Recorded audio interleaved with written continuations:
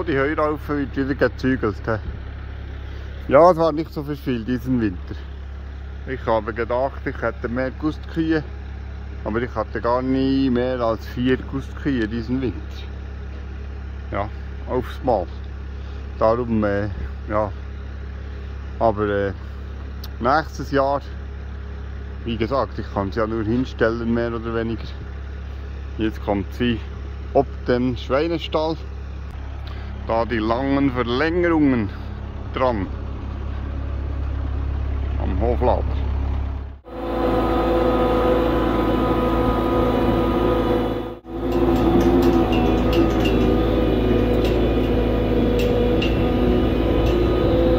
Ja, das Gras wächst. Ja, wenn wir schon dabei sind, Stroh runternehmen, weil wir hatten ja drei Tage recht windig und Sturm. Meine Liegeboxen sind blank hä, zum Teil. Darum muss da nachgestreut werden, damit, äh, damit die Kühe wieder weich liegen können. Ne? Ihr seht es, alle im Laufo.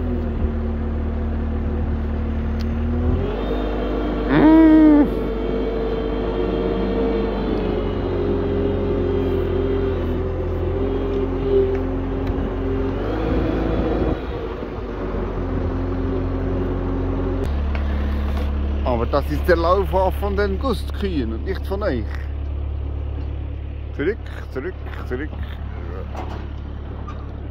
Aber ja, wahrscheinlich öffnen sie gleich wieder. Ich habe da nur eine Angel.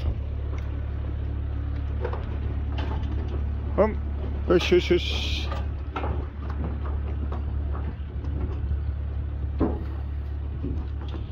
Nur diese hier.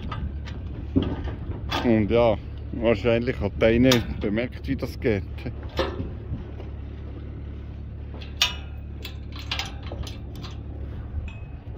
Ja, dann könnt ihr auch ein bisschen raus. He?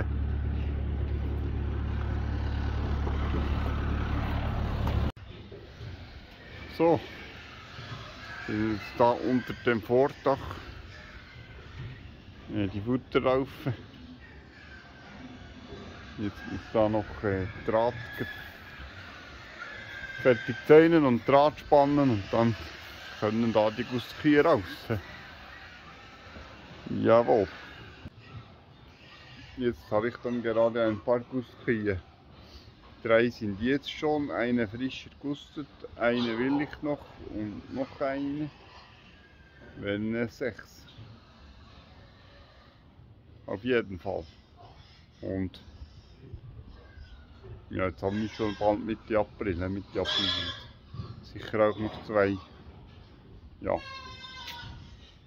Mal schauen, ne, wie das geht. Ja, im Hintergrund die Schweine, die werden jetzt dann gleich gefüttert. Äh, ich schaue da von oben, ob äh, sie sauber ausgefressen haben. Ah, die Großen haben schon bekommen, ne? Die Großen haben schon bekommen. Und die Kleinen warten noch.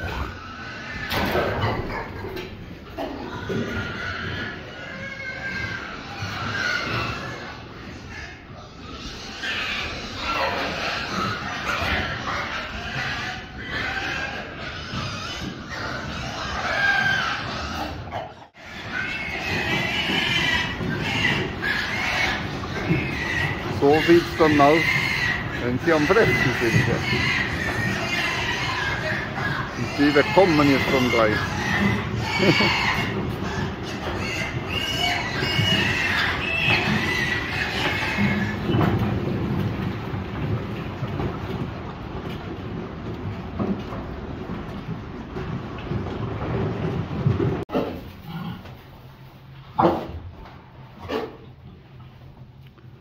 Und sie wieder an der Wärme.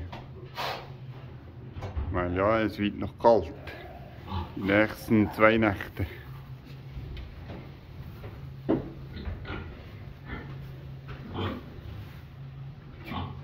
Puh. Und die kleinen sind sie auch schon drin.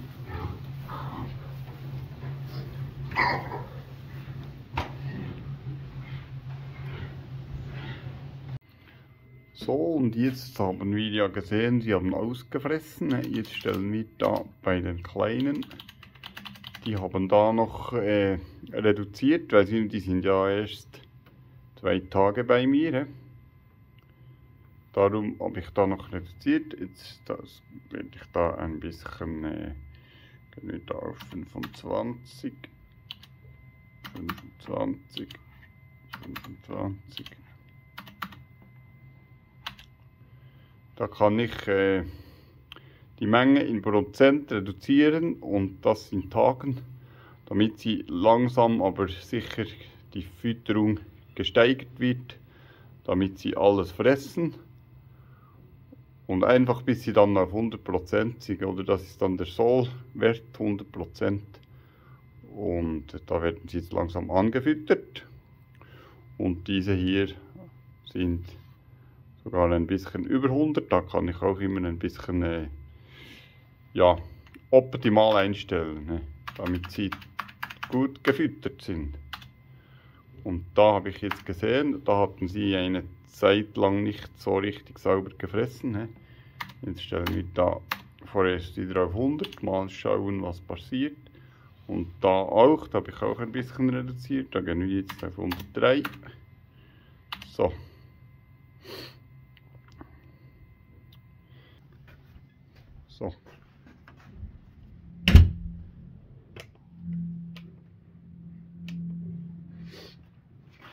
Hier im Licht löschen. Und ich habe danach ein bisschen den Hochlader gewaschen. Weil ich habe, ich habe gestreut bei den Kühen sechs kleine Quaderballen äh, zwischen die Liegeboxen äh, befördert, oder wie sage, soll man dem sagen, geworfen und jetzt äh, dann muss ich durch den Mist fahren, logischerweise. Und dann ist da immer alles voll Kuhdreck, Kuhscheiße. Darum äh, habe ich da ein bisschen den Schlauch wieder abgespritzt. So. Ja, und sie genießen dann das frische Stroh.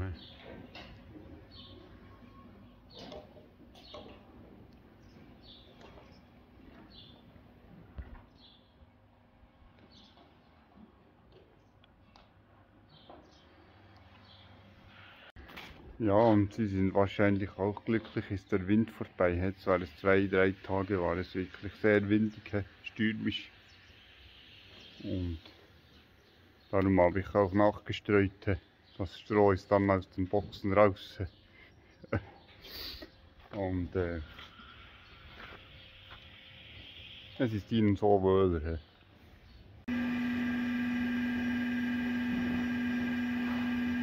Ja, und hier die fünf kleinsten Kuhkälber.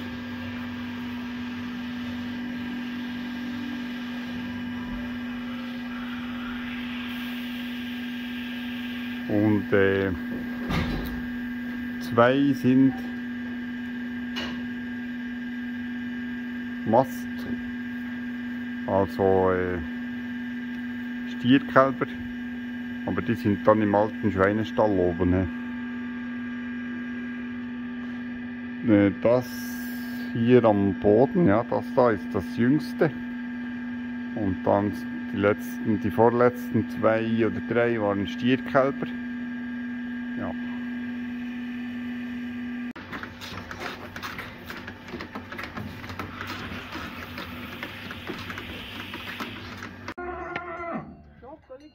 So, die Gusskühe sind schon draußen. Jetzt kommen noch die anderen. Sind schon ganz, die Spinnen kann man nur sagen. Ne? Die Spinnen.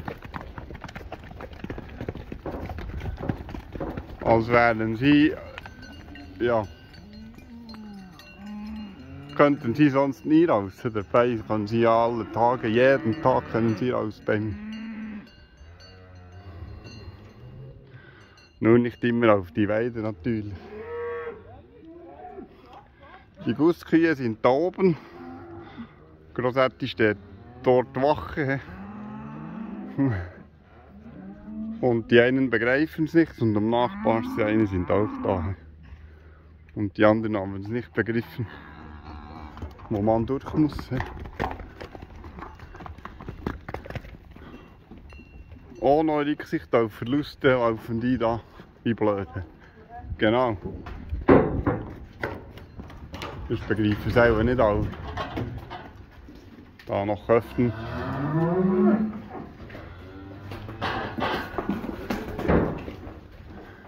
Lieber das Bein brechen, als ein bisschen Säuferli. Unglaublich, immer wieder unglaublich.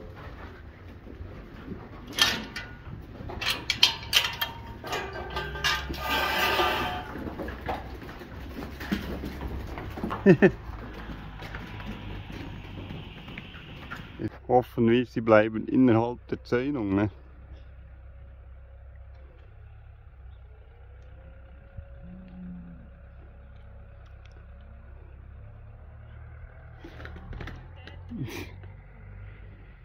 Und das Rind findet den Ausgang nicht. He?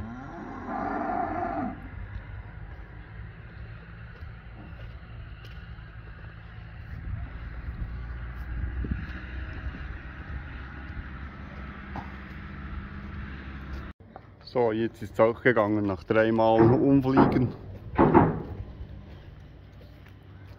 Hat auch erst den Ausgang gefunden.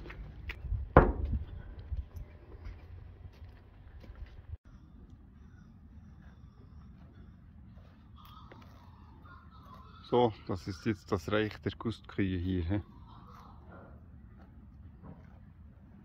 Im Moment äh, sechs Stück sind jetzt hier und zwei, die noch kalben oder eigentlich mit dem Rind drei, sind noch im Stall. Ja, weil alle kann ich nicht hier draußen haben, sonst äh, das ist wahrscheinlich schon zu viel. Ich muss dann wahrscheinlich äh, zwei circa noch in den Stall nehmen weil äh, wenn das Wetter dann einmal umschlägt, könnte es dann hier morastig werden. He? Und da so, so manche Kuh. Und äh, ja, die Weide ist auch nicht wahnsinnig groß, aber sie sollen ja eigentlich auch ein bisschen Heu fressen, wäre das Ziel. Und nicht nur Gras. So, und kaum sind sie draußen, müssen sie schon wieder rein ersten Tag gibt es nicht so viel Gras.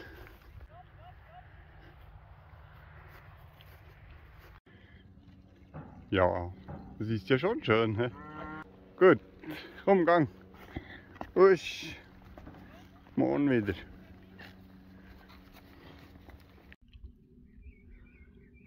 So, Kuh ist dann äh, am Ottflug MF 2000. He äh, Verschleißteile ersetzen, teilweise. Weil, äh, ja, irgendwie wurde da einmal wahrscheinlich ein äh, Ding noch angehängt. Ist alles ein bisschen unterschiedlich abgelaufen. Äh, außer die Spitzen wechsle ich nur das Nötigste. Mal schauen, wie das geht.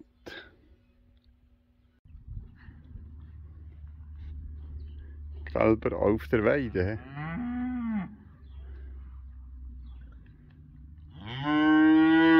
Mit Hilfe haben wir es geschafft.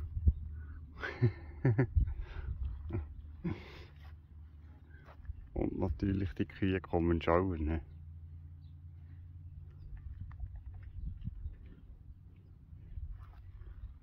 Die Gustkühe auch.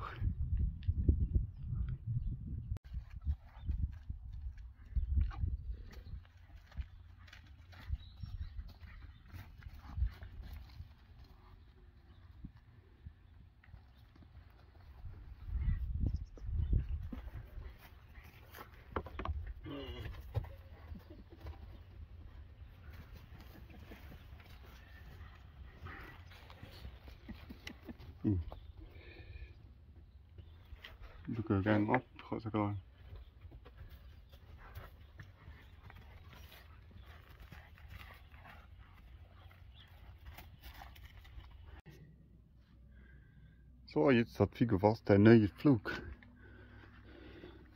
Diese hier, die passen nicht ganz, die gibt es nicht mehr. He. Das sei das passendste, was es noch gibt dazu. Aber jetzt habe ich es nur mit einer Schraube anschrauben können. Mal schauen, ob es hält und sonst muss ich da dann noch irgendwie eine Halterung schweißen. Ja. Aber sonst, ich weiß nicht, das sollte vielleicht da eine Linie sein. Ne? Das geht da nicht ganz bei mir. Ja, ja, der hat schon vieles gesehen, wahrscheinlich dieser Flug. Aber jetzt mal probieren, ob es funktioniert, ob er wieder pflügt. Und dann sehen wir es. Alles da auch wieder gängig gemacht. Das ist äh, alles nicht mehr so der Hit. Aber jetzt läuft wenigstens alles wieder. Da verrutscht es mir meistens von alleine plötzlich wieder. Aber äh, jetzt ist alles gängig geschmiert und angezogen, vielleicht geht es besser wieder. Was haben wir? Halb vier, Tag drei am Weiden und so viele sind reingekommen. Ne? Es ist schon zu warm. So schnell geht's. Das hatte ich jetzt glaube noch nie, dass am dritten Tag schon am Nachmittag so viele von selbst wieder hineinkommen. Aber hier geht ein, ein leichter Wind. Schön, schön kühl ist das hier. Ja, und letzte Nacht hat es wieder ein Kalb gegeben. Ne? Wieder ein Rind. Das ist jetzt wahrscheinlich das letzte für eine Weile. Rind. Aber Kuski hat es noch einige. Aber das geht auch noch einen Moment.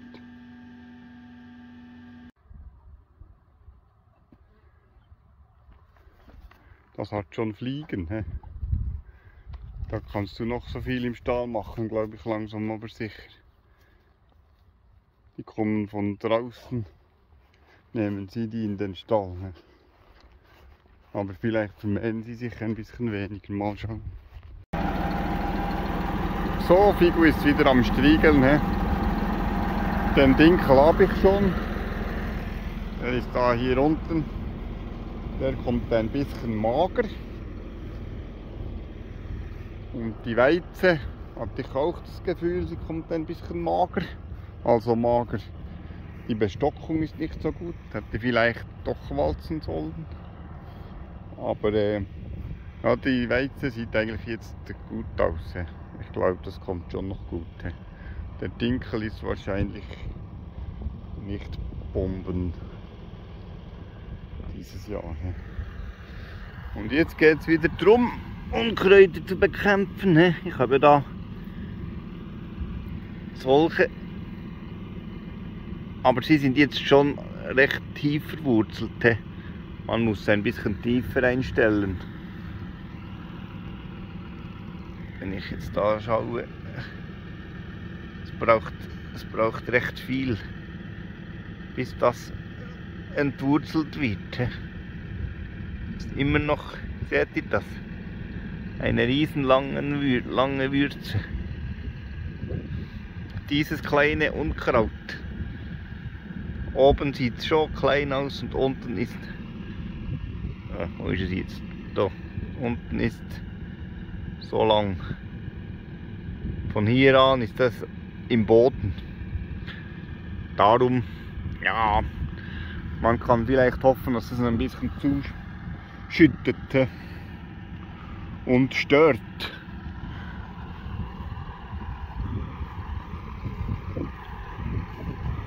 Aber äh, ja, bringen tut wahrscheinlich nicht mehr so viel wie beim ersten Mal. Auch dieses hier. Wahnsinn, wie die die waren wahrscheinlich auch Wasser suchen gegangen, ne, diese kleinen Pflanzen. Darum, weil sehr trocken, trocken war, ist die Wurzel in die Tiefe. He. Auch da ist es jetzt vielleicht knapp.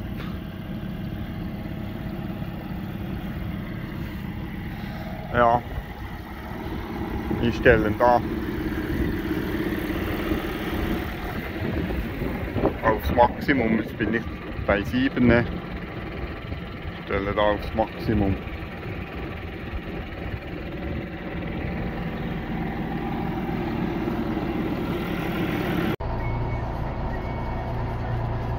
So, und jetzt bin ich da noch am Gerste striegeln. Dann habe ich alles wieder gestriegelt. Dinkel, Weizen, Gerste. Und auch hier, ihr seht, sie ist nicht so wahnsinnig dick. Jetzt, äh, ja, bin ich gespannt, wie sich das äh, entwickelt. Aber sieht, sieht grundsätzlich gesund aus, aber nicht so dick. Und da, wo es gestriegelt ist, sieht schon nicht mehr so schön aus. Aber das erholt sich wieder. Hoffe ich.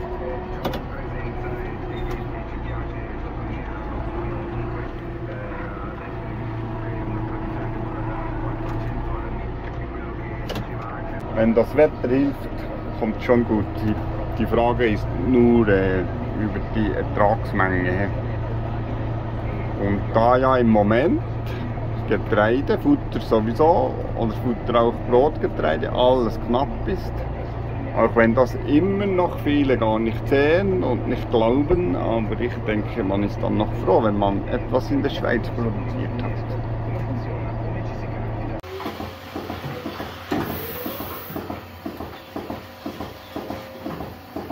Ein Rind beim dritten Melken.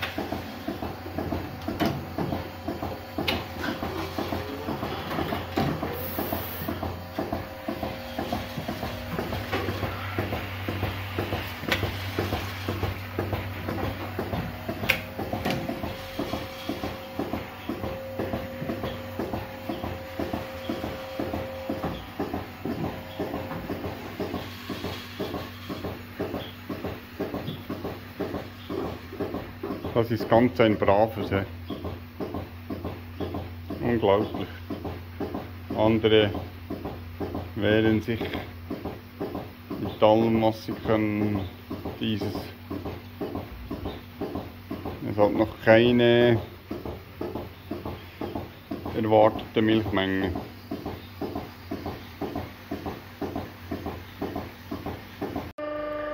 So, jetzt wird da die Wand hingestellt. Endlich Beginn meines Baus, wie man dem sagen will. Bau ist übertrieben. Ne?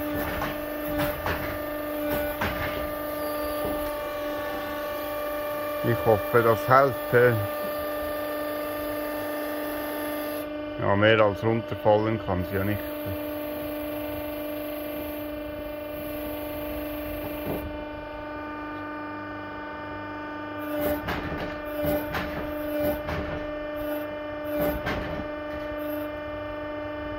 Bin gespannt, ob das noch passt. Ich glaube, ich habe sie gar noch nie so richtig hingestellt.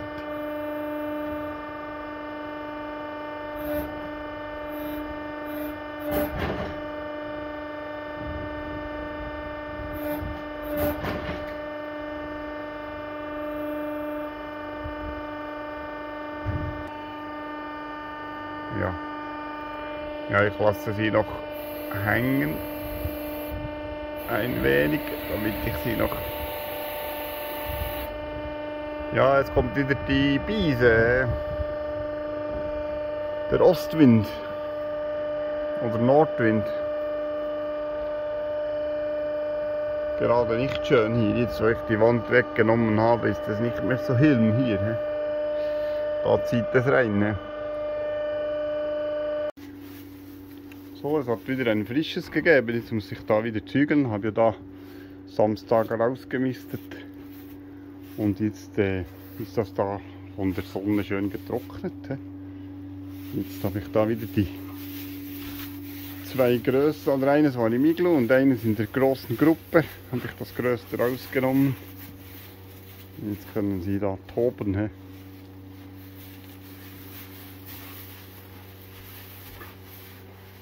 Ja, das hatte schon ein bisschen mehr Auslauf, aber das war jetzt nur im Iglu. He. Darum, ja.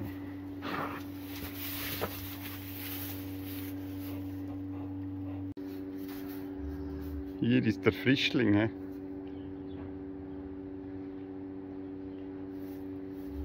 Such das Euter.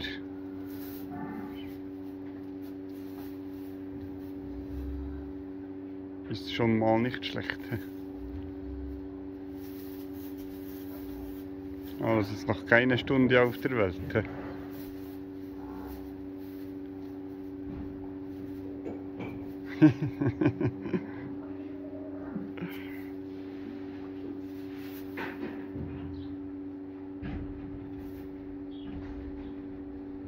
Ja, das kommt schon gut, ich. Da noch ein bisschen streuen wieder.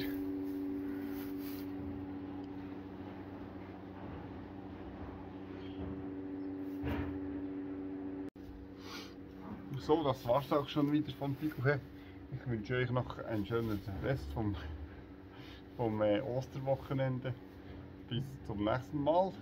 Äh, ja, es ist ja jetzt schon Ostersonntagabend und äh, nächste Woche, Montagmorgen, ist ja noch frei bei uns. Ja, ob schon, äh, ja, man wird dann trotzdem das Übliche sowieso machen. Ja. Äh, ich hoffe, ihr wisst alle, warum wir Ostern feiern. He? Nur so mal zum Überlegen. Und äh, wünsche euch noch einen schönen Rest. Tschüss zusammen.